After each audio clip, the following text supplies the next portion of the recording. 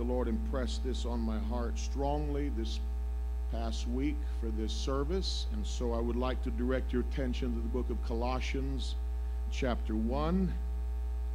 And while you're turning there, I want to say also that it's good to have my wife with me this year. Also, my good brother in law. I don't know why the sound seems to be fading in and out. Can you all hear me okay? I can't hear myself. I've been standing in front of those guitars and I have permanent hearing damage. Did someone say about, I don't know, I couldn't hear what anybody was saying. But uh, so you all just kind of wave your hand every now and then, I'll know that you're still awake and aware tonight. But Colossians chapter 1, and I'm going to read beginning with verse number 12. The Bible says, giving thanks unto the Father, which hath made us meet. We're partake. I'm not fading in and out. It needs a new battery. Lord showed me it needs a new battery.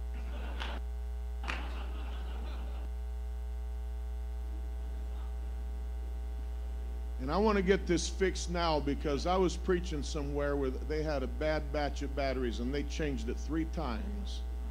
And they have never let me forget the time that I wore out three batteries in one message.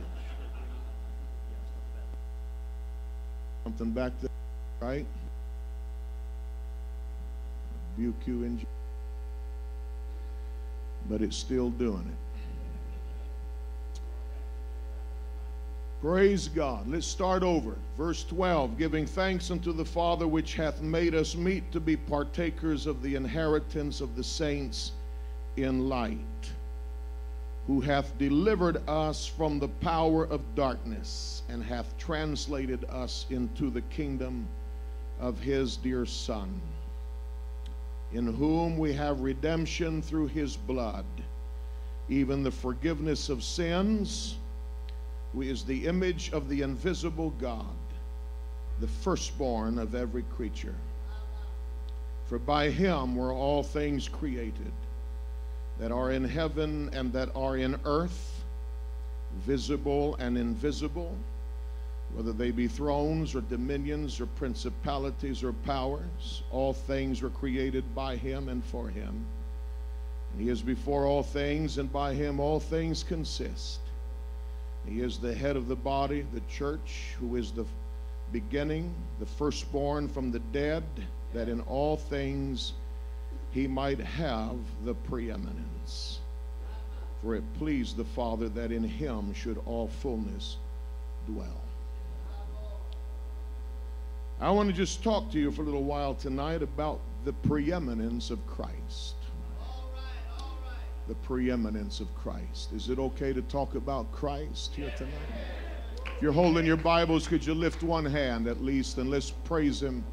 Ask Him to have His way one more time. Thank you, Jesus. Thank you, Jesus. Lord, we need you tonight. Help me, God. Would you grant me your anointing and your unction? Help me to faithfully represent your will tonight. Move in this place, I pray. Hallelujah. Grant anointing and unction to your word. Help every man, woman, young person, and child that's here.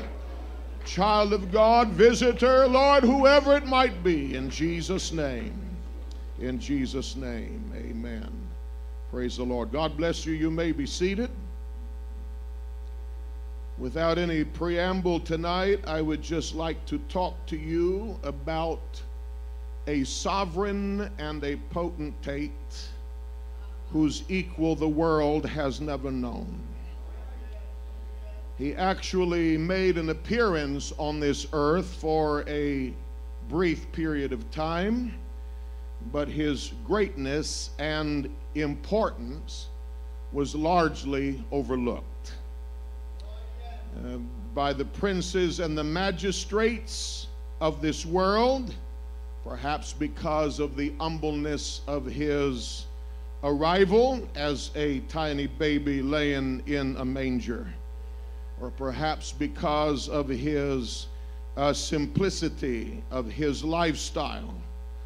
They only knew him as the carpenter's son, or perhaps as the young rabbi from Nazareth, who did some amazing things, but they really did not understand who he was and what he was. But we know that he was much more than that. He was no ordinary man. The Bible here says, tells us his identity, that he was the image of the invisible God. As such, he was not a reflection of God, he was not a duplication of God, he wasn't an envoy or even just a messenger of God. He was not a likeness as a son would be. You would say uh, of a son, he looks like his father, he resembles his father. But he was not uh, a likeness as a son resembling his father. He was not a representation as you would see on a coin or in a painting or on a stamp, but the invisible God becoming visible. John chapter 1, verse 18, the Bible says, No man hath seen God at any time. In verse number 1, in the beginning was the Word, and the Word was with God, and the Word was God. And the Word was God. And verse number 14, the Word was made flesh and dwelt among us, and we beheld His glory the glory as of the only begotten of the Father. Hebrews chapter 1, verse number 3 calls him the brightness of his glory and the express image of his person. The Bible here said in verse number uh, 15 that he is the image of the invisible God, the firstborn from every of every creature. That's a strange statement. How could he be the firstborn of every creature when he makes his appearance several thousand years into the human story? In 1 Peter chapter 1 verse 20, the Bible makes it clear that he was foreordained before the foundation of the world, but he has been made manifest in these last times. He existed already in the mind of God before that there was anything that we know of today. In Revelations chapter 13 and verse 8, it says that he was the lamb slain from before the foundation of the world. I'm here to tell you tonight that Jesus Christ was not an implementation and he was not an emergency measure that God enacted to resolve a crisis but he existed in the mind of God before there was any other man, before there was any other creature, before there was any other thing. Regarding Adam, the Bible says in Genesis chapter 5, verse 1, that he was in the likeness of God, made he him. He was made in the likeness of God. How can he be made in the likeness of God if God is invisible? If God had no form, if God had no shape, he was made in the image of God because Jesus Christ already existed in the mind of God. So that Adam was created to resemble the prototype.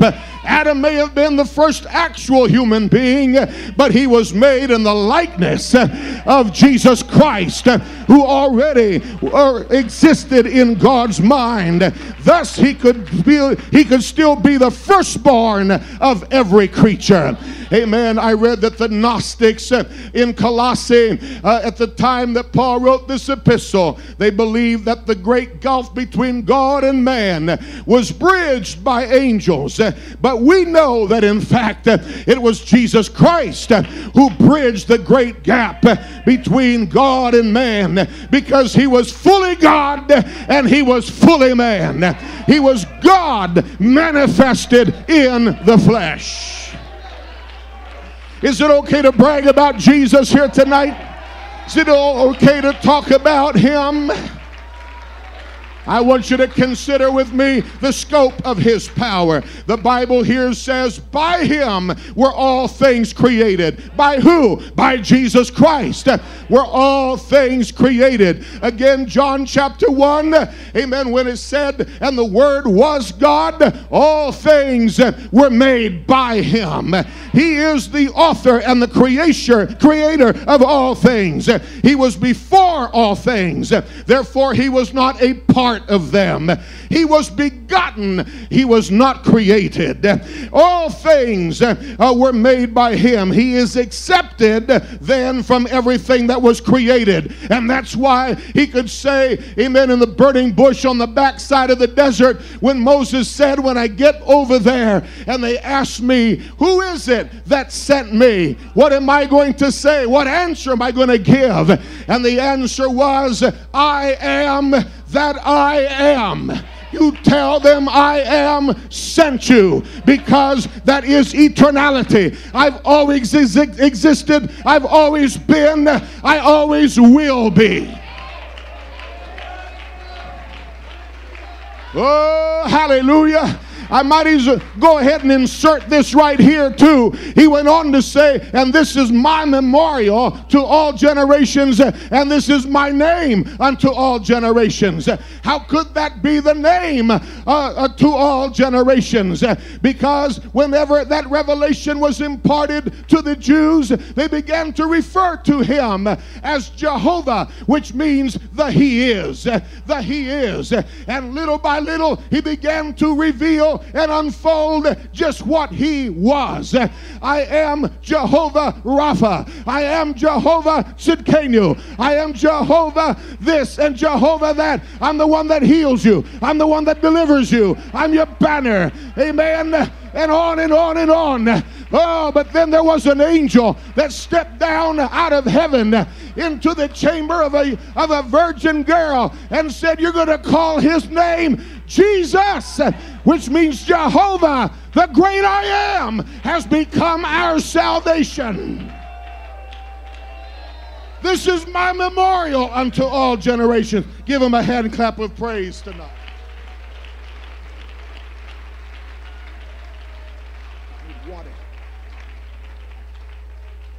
Amen. All dimensions of creation were made by him. Listen to the extent of it. It says here, all, all, things in heaven and in earth. Everything you see on this earth, He made it. Everything in heaven, He made it. He's the one that scattered the stars across the universe, that measures them with a span, that, uh, that inhabits all of eternity. He made everything in the heavens. All the celestial bodies were made by Him. All the terrestrial bodies and substance was made by Him. Listen to the variety of it. The Bible says visible and invisible because there is a parallel spiritual invisible world that exists alongside this one You'd be surprised at how many other uh, uh, entities are in this room tonight if your spiritual eyes could be opened. There is a whole world of spirit beings, and He is the creator of everything that is visible and invisible, and also the orders of all things, thrones and dominions, as well as principalities and powers. All ranks of authority have been made by him.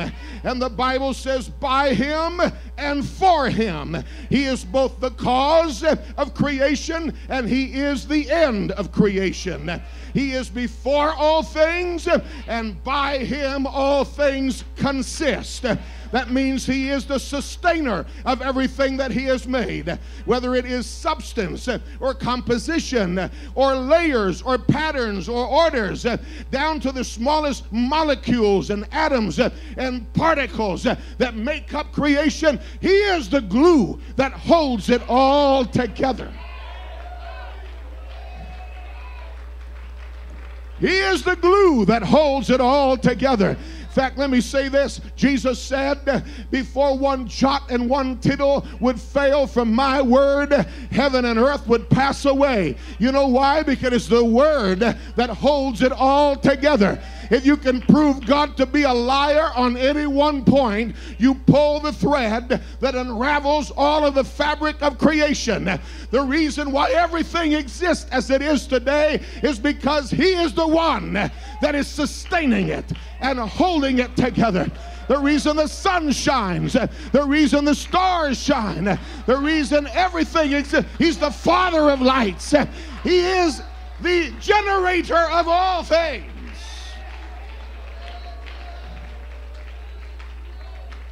Their continued existence depends on Him. The intricate balance of nature and the complexity of ecology all depends on Him. Praise the Lord. He is also a part of history, but He is not a product of history. He's not merely an event or figure that appeared in history, he is the author of history. It is his story that is unfolding. Can you just bear with me here a little while tonight? Amen. He is not reacting to history, he is proactive. He's the one pulling the strings and pushing the buttons. God is not convening any council in heaven right now, wondering what He's going to do about current events and, and how He's going to respond to the Republicans and the Democrats and the terrorists or anything else.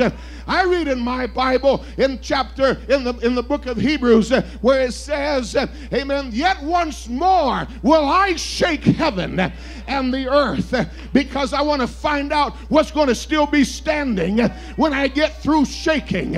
We like to give the devil a lot of credit, but I'm telling you, God's the one that's moving everything and shaking everything because he is the author of history. He's not reacting to it, uh, he's writing it.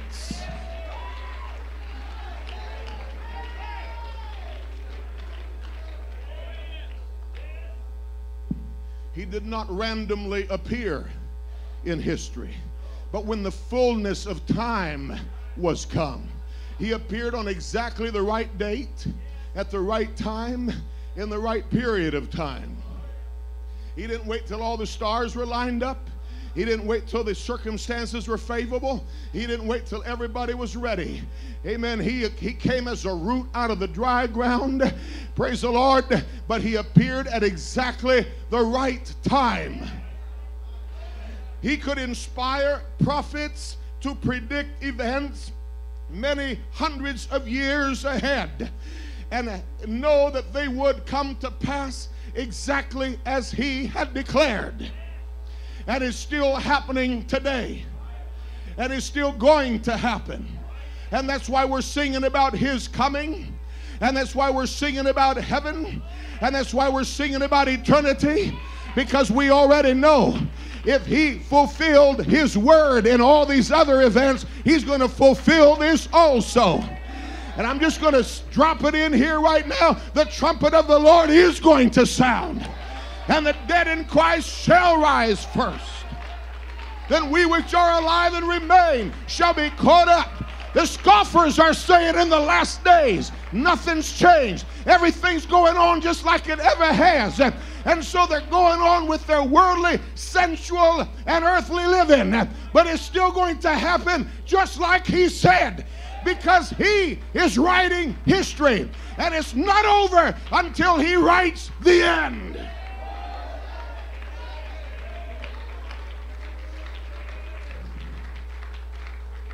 His arrival was so significant that it split time in two. And time is still measured today as BC and AD. That's how important his arrival on this earth was and the events surrounding his life. Amen. His power and his authority is absolute. He has no limits nor boundaries. He controls all past, even present, and future simultaneously. Time is a bubble in the plan of God, but He's God past and God present and God future. And so that's why we can say about Jesus, Jesus Christ, the same yesterday, today, and forever. Even time is controlled by him. He transcends all types of matter, all order, amen, all kingdoms and realms and dimensions answer to him. He commands an army of millions of angels, any one of which has unbelievable power. One of his angels stepped into a camp of 185,000 of the enemy, and those great men of war never woke up to see the light of another day. Angels bow before him, heaven and earth adores him. What a mighty God we serve.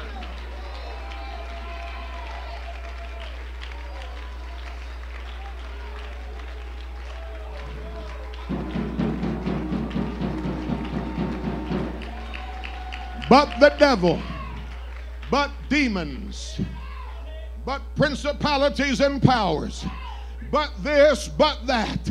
And John looks up and he sees a wide array of angels, and he said there were 10,000 times 10,000 and thousands of thousands. A conservative estimate places that number at over 100 million strong.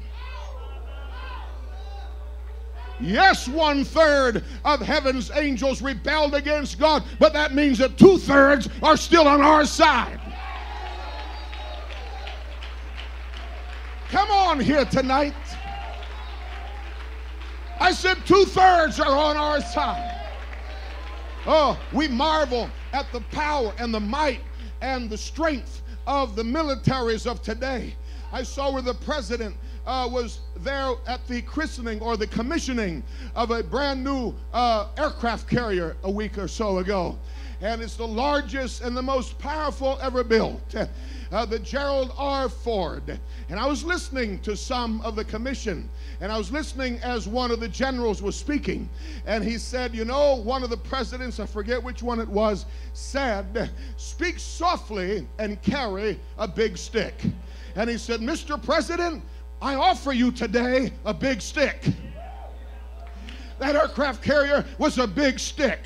But you know what? The army that God commands doesn't need aircraft carriers, doesn't need supersonic jets, doesn't need missiles, doesn't need that kind of firepower. He speaks and he commands. And all power in heaven and earth is subjective unto him. Give the Lord a hand clap of praise, would you?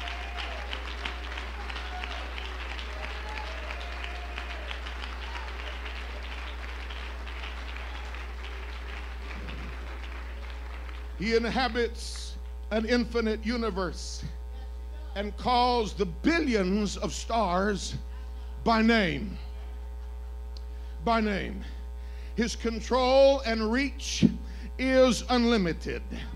He himself cannot be measured or defined by any conventional means, any system, any device, or any words of vocabulary fall way short of being able to define and describe and measure him so immense and so vast and so powerful is he. That's why the Bible said, amen, that he should have the preeminence. That's why he is preeminent. And preeminent means first in order or rank. There is no higher position above him. There's no other power above him to appeal to. He's not a little boy sitting beside the big throne. He is the preeminent. He is supreme. He is paramount and he is foremost. He is unmatched He is uh, surpassing, unsurpassing, and He is transcendent. He is one of a kind. He is uh, inimitable. He is ultimate. He is unsurpassed. He is predominant, and He is marvelous. And Isaiah said, His name shall be called Wonderful Counselor, the mighty God, the everlasting Father, and the Prince of Peace. And in his own words to John on the Isle of Patmos, he said, I am Alpha and I am Omega. I'm the beginning and I'm the ending. I'm the one which is and which was and which is to come, the Almighty.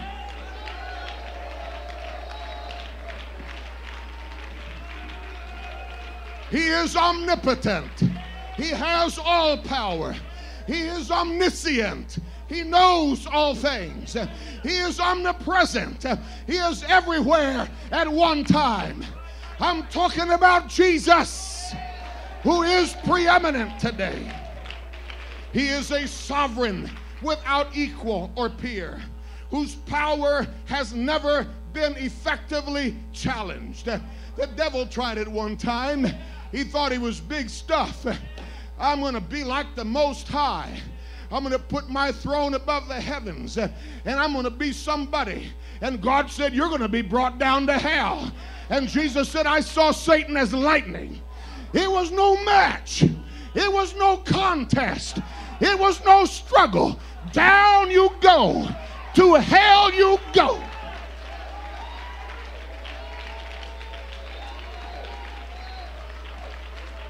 And he has a name that is above every name. And at the name of Jesus, every knee is going to bow and every tongue is going to confess. Somebody shout his name tonight. Somebody praise his name tonight. Come on, worship him.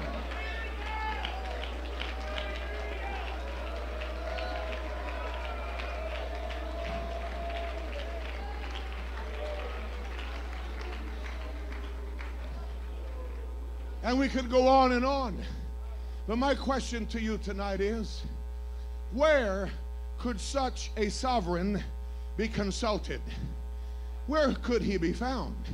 If he has such uh, immense power, if his reach is so unlimited, if he's the creator of all things, if he controls all things, if all things consist by him, if he's the one that made everything, then surely he can fix everything. Then surely he can remedy everything. Surely then illness and infirmity is no match for him. Surely then our problems and our dilemmas and our challenges are no problem to him. Surely then, whatever's troubling you will not trouble him. Surely then, whatever's going wrong in your life, he can fix. He has the power, he has the ability, and he has the authority.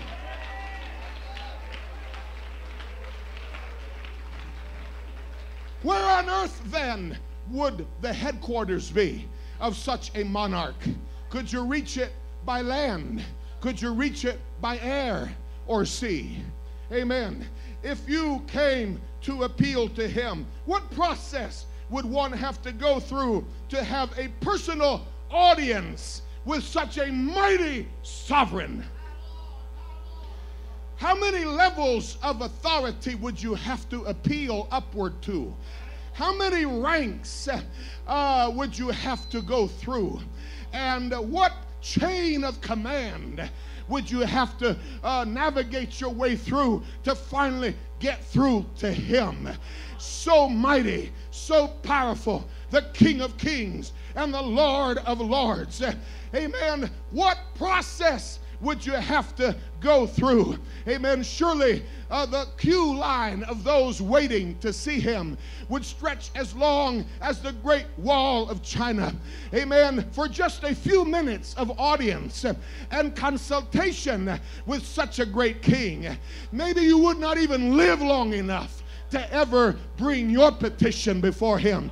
Maybe you would never survive long enough to have your case and your problem heard because there would be so many ahead of you and so many situations far more important and far more pressing and far more grave than your situation. Maybe you would give up after a number of years uh, out of sheer uh, frustration uh, and, and just wore out from the effort of waiting your turn to appear to such a mighty, a mighty king and sovereign.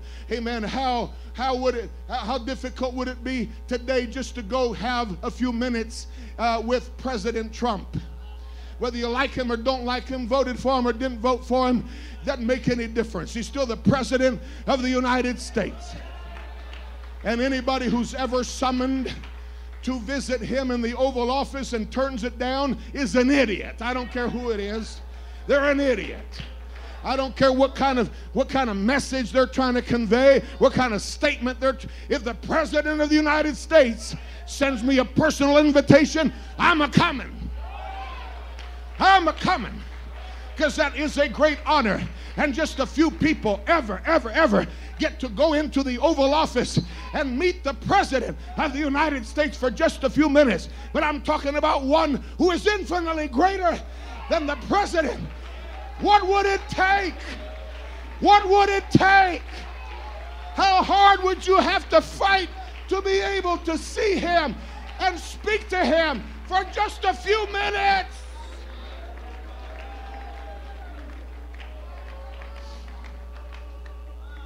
Lift your hands and praise Him.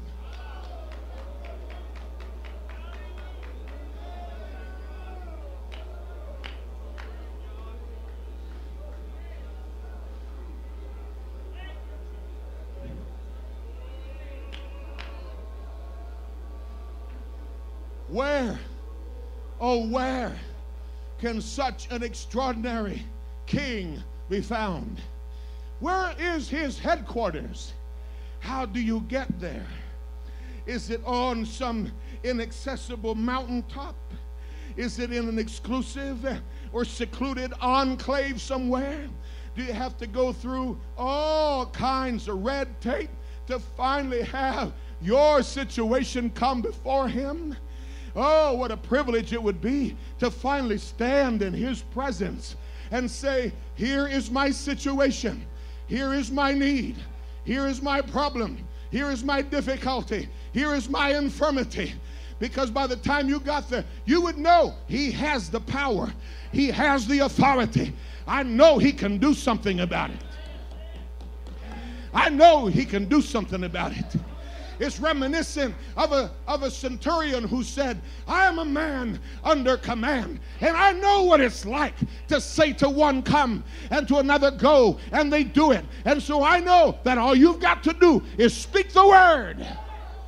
And Jesus turns and said, I have not seen so great faith in all of Israel because somebody gets it. Somebody understands. I've got the power, I've got the ability, I've got the authority.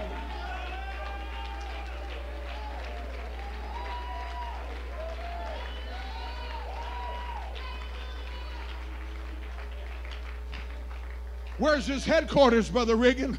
Where can we find him? Where can we go? How can I buy a ticket?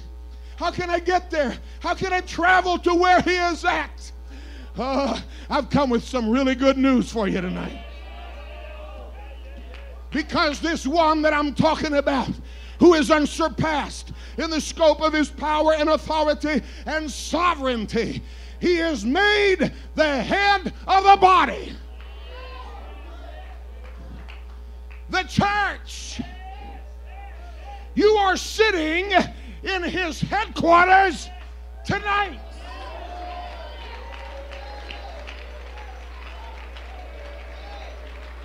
While some of you are acting so casual and nonchalant, you are in the presence of the King of Kings and Lord of Lords.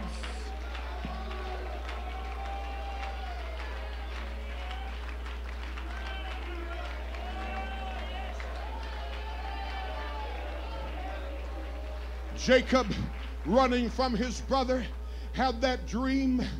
He had that dream of that great staircase that went all the way from heaven to the throne of God. And he got up the next morning and he named that place Bethel because he said, This is the house of God, the gate of heaven. You can't see it here tonight, but there's a great staircase with angels ascending and descending, bearing petitions to the greatest sovereign this world has ever known. You can sit there like a knot on a log. You can sit there like you're at Walmart, or you can realize He has the power, He has the ability, He has the answers.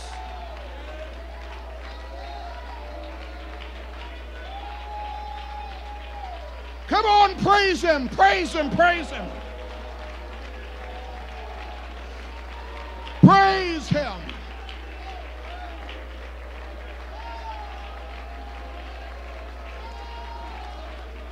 You didn't just come to Racine camp meeting tonight. You came to the headquarters of this great potentate this great Jesus Christ who is preeminent above all things. He can do all things, see all things, hear all things, change all things, fix all things, solve all things, heal every infirmity. Oh, yes, He can. Oh, yes, He can. That in all things, he might have the preeminence. Love him one more time, would you? Trying to hurry.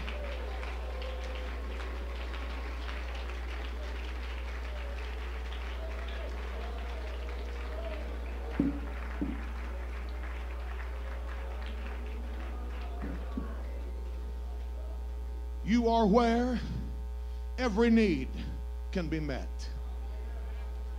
beginning, I might say, with salvation. For in whom we have redemption by his blood. Let me tell you what this great sovereign was willing to do for you and me, who were trapped in a sinful condition and could not deliver ourselves. And the devil was requiring a ransom that could not be paid in any other way and by any other means and by any other person. How do you, you be seated if you want, how do you, how do you ransom an individual? You have to offer something of equal or greater value. Of equal or greater value. How do you ransom a soul? How do you ransom a soul? who is bound in the chains of sin and darkness and deliver them, amen, from the enemy who has them bound. You have to offer something of equal or greater value. That's why, amen, the blood of bulls and goats was never enough. It was not of equal value or surpassing value. But here comes Jesus, who again was not created, he was begotten. He was begotten by the Spirit of God that overshadowed Mary and gave birth to a baby who looked like a normal human being, but who had a unique characteristic that no other human being possessed. His blood was untainted, his blood was untarnished by sin.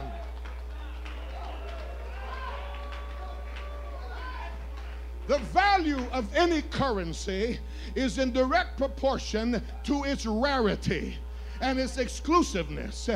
Gold is valuable not just because it's beautiful, but because it's rare. Diamonds are valuable not just because they are beautiful, but because they are rare. Dollars are worthless. Amen. Praise the Lord. But the value of any currency is in direct proportion to its rarity to its rarity, its exclusivity, to its preciousness. To its preciousness. When the Bible uses the word precious, it's not just saying, like somebody looks at a baby, oh, he's so precious. No, it's precious because it is rare. There's nothing else like it. That's why one drop of the blood of Jesus Christ is worth more than all the currency in all the world because there is nothing else. There is nothing else. There is nothing else like it anywhere.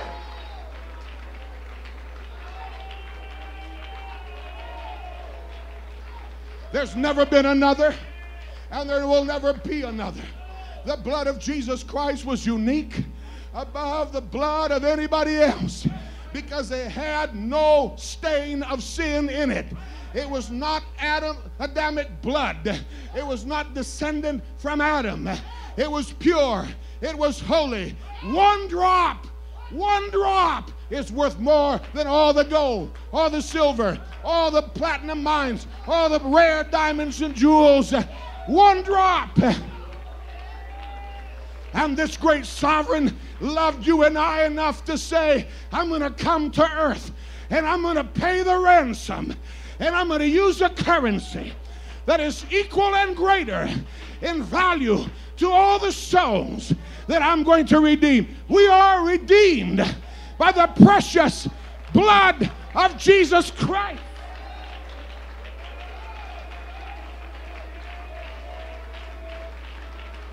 Come on, praise Him tonight.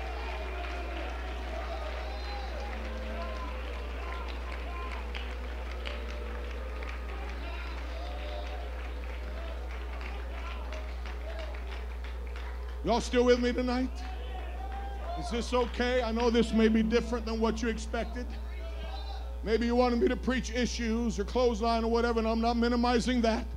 We'll do that some other, but today we're talking about Jesus.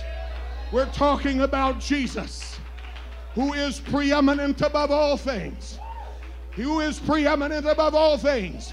And if he was willing to shed his blood for you, he's willing to do anything for you.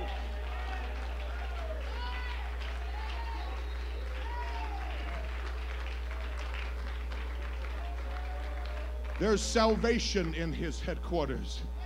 There's deliverance in his headquarters. The Bible here says he delivered us from the power of darkness. This is a tremendous statement because this whole world lies in darkness and it's in the grip of demonic control, a network of evil and demonic power that is so organized and intricate and it has infiltrated every single segment of society from the halls of government down through, amen, the places of education and higher learning to the entertainment industry and all of technology and everything is infiltrated so that the people that are in the societies of this world are helplessly bound by the powers of darkness. They are helplessly bound by the powers of darkness. So much so that the devil does not want them to know what I'm preaching about here tonight. Because the Bible says, if our gospel be hid, it is hid to them that are lost, in whom the God of this world hath blinded their minds. That's the light of this glorious gospel should shine unto them that they might be saved. But this great sovereign came to this earth and he implemented, implemented a plan of deliverance so that you could be set free from the power of darkness. And he hath translated us into the kingdom of his dear son. That word translated is a very important one. And it always makes me think of something that happened many years ago in 1976, uh, actually, July 4th, 1976, a very dramatic event occurred. A couple days earlier, some Palestinian terrorists had hijacked an Air France airplane with 248 passengers and taken them to a country in Africa, uh, Uganda, and landed it at Entebbe and at that time, it was under the control and rule of a very wicked dictator by the name of Idi Amin, who was sympathetic to the Palestinian cause and received them with open arms and put his soldiers at, at, at readiness uh, to protect them. But among these 248 passengers, since the airplane had actually left from Tel Aviv, Israel, and was on its way to Paris, France, on this airplane was 90 some Israelis. Israelis. And the Israelis, they have a different attitude toward things than most other people. And instead of wringing their hands, oh, what are we going to do? I guess it's just a big loss and we're helpless. And of course, the terrorists were demanding that they uh, would uh, set free a number of Palestinian prisoners that the Israelis and others were holding uh, in their prisons, uh, or they would begin to execute these Israelis one by one. But in the early morning hours of July 4th, 1976, several aircraft uh, with uh, almost a hundred commandos, Israeli commandos landed at the airport in Entebbe. And they initiated an operation that was later called Operation Jonathan. Good name, great name. Praise the Lord. In honor of the one and only commando that was killed in that operation, who happened to be Jonathan Netanyahu, who is the, was the brother of the current uh, prime minister of Israel. And so the operation was named after him. In 90 minutes' time, they swarmed through there. They killed all the Ugandan guards that were uh, stationed around those hostages. They delivered all of the hostages. And in less than 90 minutes, they had all those Israelis on those planes heading out of there. They had translated them right out from the under the devil the enemy's nose translated them to freedom. And i always think about that when i read these when i read this scripture because it says who hath translated us from the power of darkness. Here you are living under the grip of a whole world that is locked in darkness. But this great sovereign this great king reached down and delivered you, swooped down and set you free and, uh, and translated you out of the power of darkness into his kingdom. Into his kingdom. This is where his headquarters is. Into his kingdom. You know how he did it? Amen. Somebody came to you with a message. It was an Acts 2:38 message. Repent and be baptized every one of you in the name of Jesus Christ for the remission of sins, and you shall receive the gift of the Holy Ghost. And everybody who hears that message, and everybody who heeds that call, and everybody who obeys that word is translated.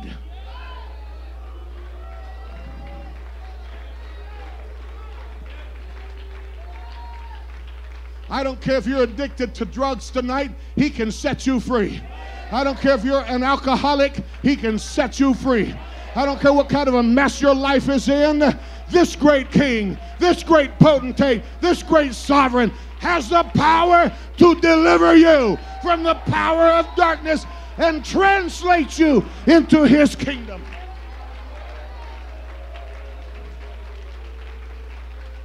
So that Someday, very soon, you can stand in congregations like this one and sing, Once like a bird in prison I dwelt. No freedom from my sorrow I felt, but Jesus came and listened to me, and glory to God, He set me free. He set me free. Has He set anybody free here tonight?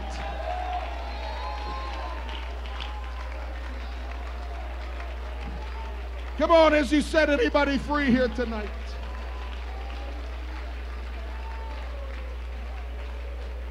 Come on, has he set anybody free here tonight?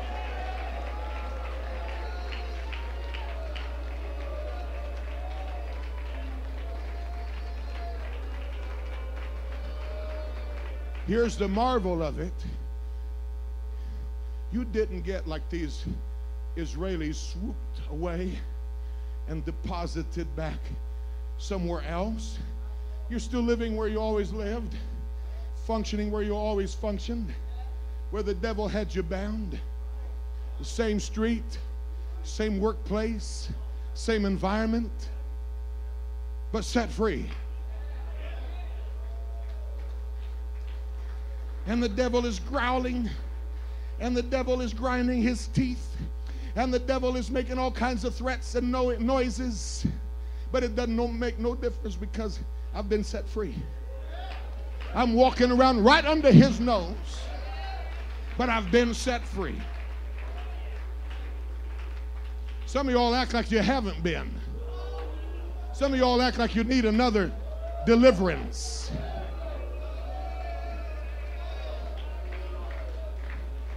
Come to church with a long face and a sad story, whining and complaining. Devil's been after me all day, bless his holy name. Chased me around every stump, nearly caught me at each jump. Pray for me, I'll survive, I'll make it to the bitter end. That's not the kind of deliverance I'm talking about. There's some folks in this house who know,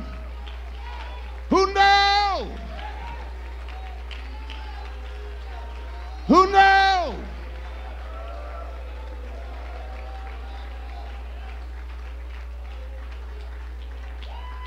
My heart was distressed neath Jehovah's dread frown. And lo, in the pit where my sins dragged me down, I cried to the Lord from the deep miry clay, who tenderly brought me out to golden day. He brought me out. He brought me out. And if the Lord saved me, why should I be bound?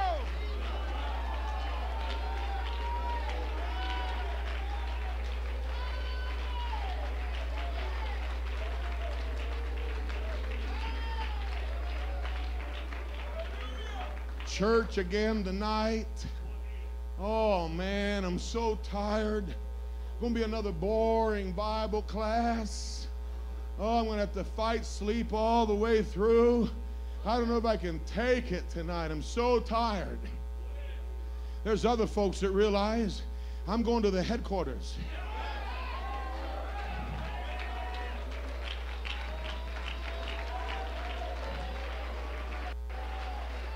And the devil may have been chasing you all day. But sometimes it's like somebody, amen, who is playing baseball and they're rounding third base for home. And the ball has been caught in the outfield and it's been thrown to the infielder, and now it's zinging its way, amen, to the guy at home base. But here you go, and you slide your way in there, and the umpire cries, Safe! Sometimes that's the way we come to church with the devil hot in our heels, but we pull into the parking lot and the umpire says, Safe! That's why we come in with a praise. We enter into his gates with thanksgiving and into his courts with praise. Thank God I made it one more time. He's going to hear my prayer. He's going to solve my problem. He's going to supply my need. He's going to heal my body. Because there's none bigger than him. There's none more powerful than him. Come on, everybody, stay standing. Everybody, stay standing.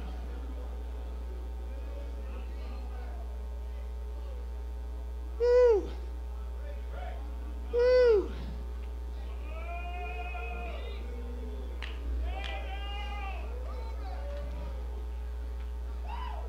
There's deliverance in this house. You can go home the way you came if you want to, but you're at heaven's headquarters tonight. You don't have to stand in a line thousands of miles long waiting for your case to be heard. You don't have to go through a sophisticated chain of command. You can whisper his name and he will hear you. He can solve your problems. He can supply your needs.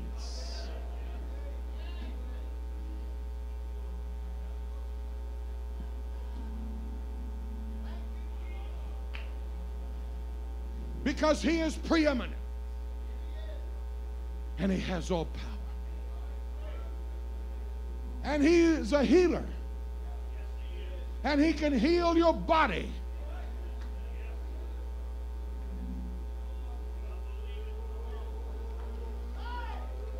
Yeah, yeah, yeah.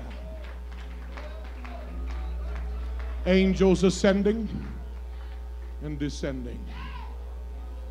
Angels ascending and descending. He's a healer.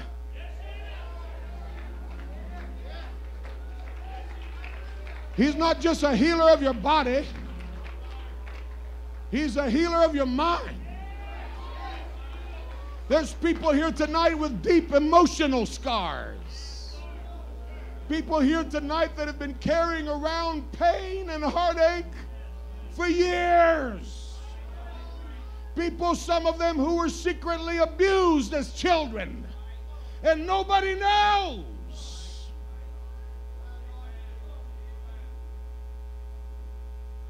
And nobody knows. Nobody knows. Oh, but it's crushing you every day. That's why you have a, such a hard time breaking through to victory. Emotional pain. People going through family problems. Heartache of marriage breakups. Children backsliding. Families being ripped apart. If you could just find the right counselor, if you could just connect with the right psychiatrist, you could just go to the right clinic, you could just find someone who would have that special knack to help you cope, you've come to the headquarters.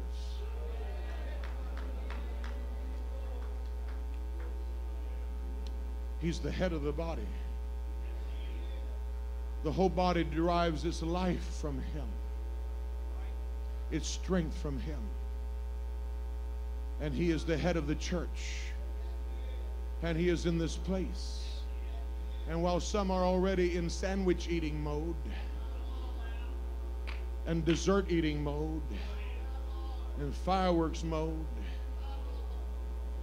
there's a few folks here tonight that just do not want to go back home the same way you came. And Christ, who is preeminent, who is above all things, through all things, in all things, created all things, in charge of all things, in control of all things he has the solution to your problem right now. You just give me a few more minutes. And right here at the close of this service, there's not much room. I'm not even going to ask you to come to the front. Because, see, you're at headquarters. And when you speak to him, he hears you.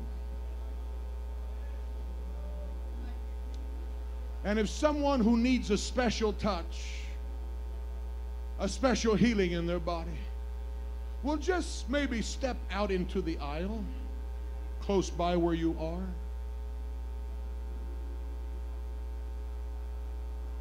Come on.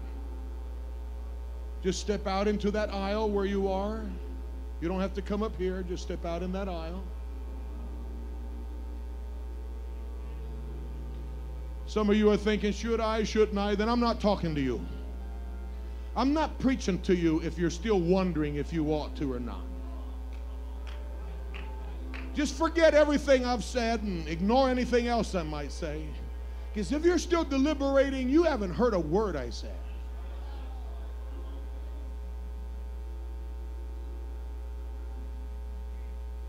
But if you've come tonight thinking, oh, if I could just get help tonight.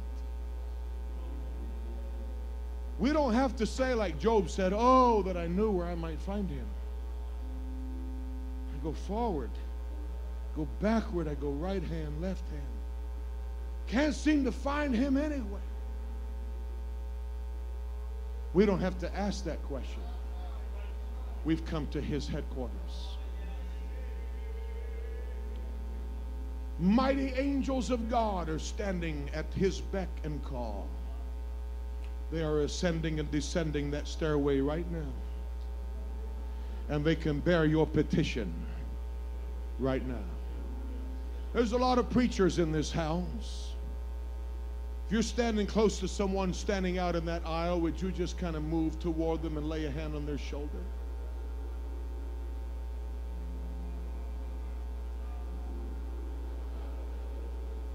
Would you do that? Come on, everybody. Everybody. If you're up here near the front and you're one of those needing help, just raise your hand. Indicate, I need prayer tonight. I need prayer.